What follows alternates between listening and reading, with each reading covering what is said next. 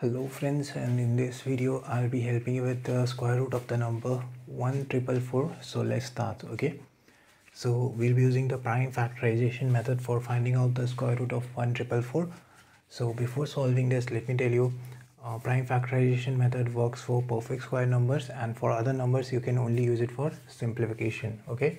So now let's write square root 1444 that is what we need to solve okay?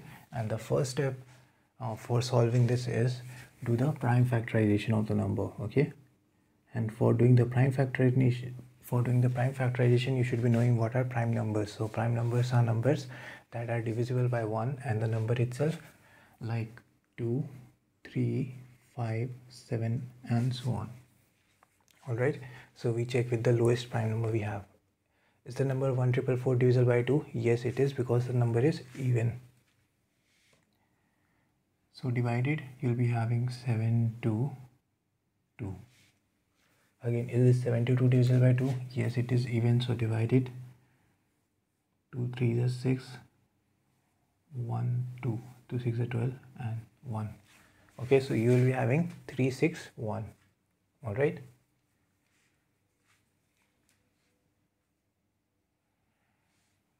now it is not divisible by 2 because it is odd so we'll check with the next lowest prime number that is 3 now is it divisible by 3 uh, 3 12 are 36 1 left not divisible.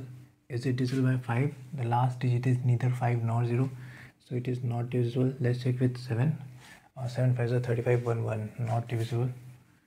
Let's check with 11 13 17 and 19 so 11 3 is a 33 3 1 not divisible.